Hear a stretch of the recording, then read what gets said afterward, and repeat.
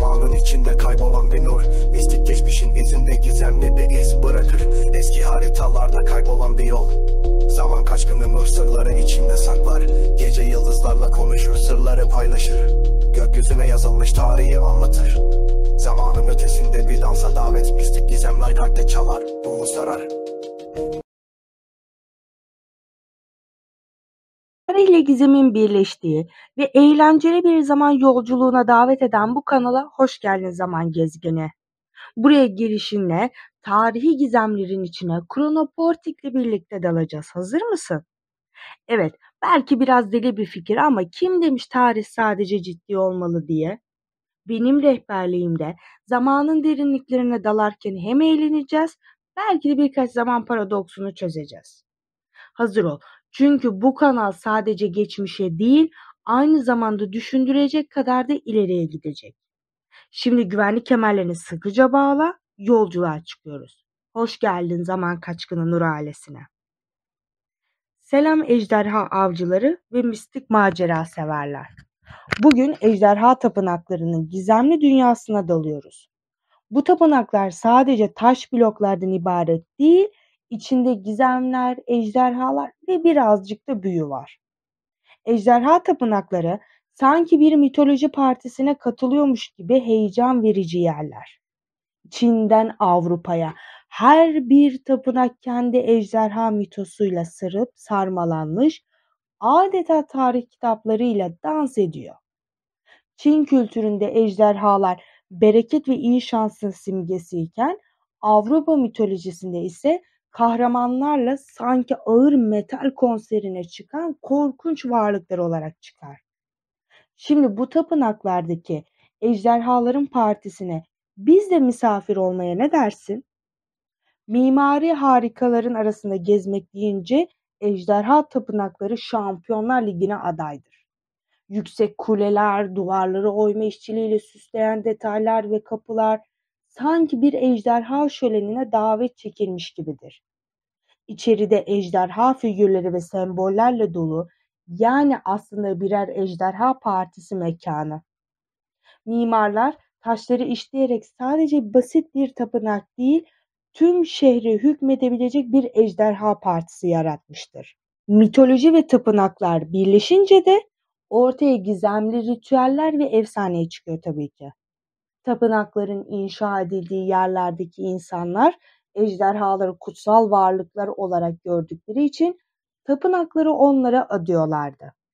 İşte o zamanlar ejderhalar sadece hadi bugün ne yemek yiyelim demek yerine tapınak partilerine katılıyorlardı belki.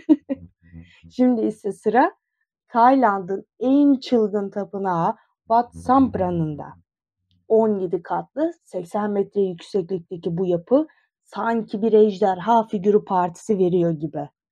Çelik ve betonla inşa edilmiş bu tapınak, Tayland'ın geleneksel mimarisini modern bir tarzda harmanlayarak ortaya muazzam bir eser çıkarmış. Tam bir ejderha partisi mekanı yani. Wat Sambra'nın içindeki ejderha merdiveni ise adeta bir kahkaha merdiveni gibi. Ziyaretçiler bu merdiveni tırmanarak tapınağın zirvesine ulaşıyorlar. İç mekanlarda geleneksel Tayland sanatı ve mimarisiyle süslenmiş. Burada meditasyon yapmak yerine ejderha partisi çekmek için bolca yer var aslında. Bunu bir düşünmek lazım. Neyse. Ejderha tapınakları genel bir kavram gibi görünebilir. Ama aslında her biri kendi efsanesini anlatan bir mekandır. Her kültürün kendi ejderha hikayesiyle şekillendirdiği bu tapınaklar geçmişin izlerini sürmekle kalmaz, aynı zamanda dünyanın farklı bölgelerindeki inanç ve kültürleri de gözler önüne serer. Belki de bu ejderhalar tarih boyunca dünya turu yaparak partilemişlerdir. Kim bilir ki?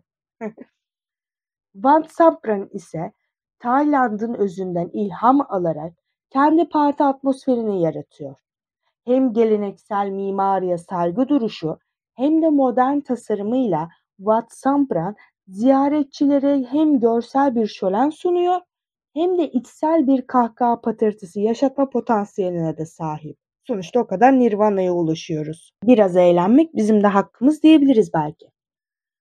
Ejderha sembolizmine gelecek olursak, ejderha sembolizmi tarihi boyunca pek çok kültürde güç, bilgelik ve koruma anlamlarıyla özdeşleşmiştir. Ama bir de düşünsenize bir ejderha partisi ne kadar eğlenceli olurdu günümüzde de.